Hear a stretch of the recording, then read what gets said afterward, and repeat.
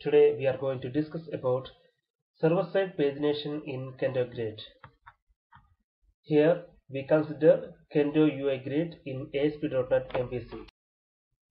As you know, there are mainly two parts. One is the view part and another is the controller part. This image would represent the basic code of a Kendo UI Grid, which is based on a model. Here you can see from this model we can define the columns name. Here only one column name is defined which is x.date. The name of the grid mainly represents the ID of the grid. Here the ID is grid itself. The filterable property mainly represent whether the grid columns are filterable or not.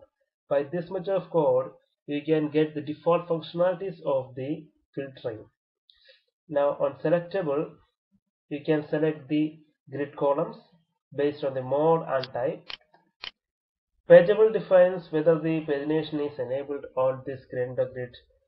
We can select 10, 30, 80 pages uh, by introducing a drop down on the pagination section. On navigatable means whether the grid columns are navigatable. Sortable means the grid columns are sortable or not. Data source is the region where the data gets binded to this Kendo grid. On data source, you need to specify the name of the control name and method name from which the data operations are done and the result would get bind to this Kendo grid. Let's go to the control side. Here, uh, this is the control side method. The method name should be same as, as specified in the data source. So, for this method, you can see the input of this method is data source request. Any parameters of the grid, that means the pagination, sorting, filtering, all will be available at this data source request.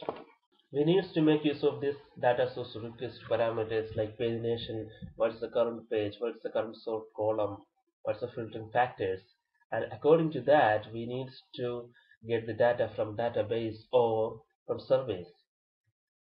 After that, the result will be sent to the view as data source result.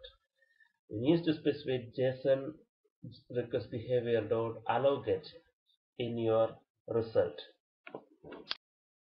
By this way, you can bind the data to Kendo UI Grid.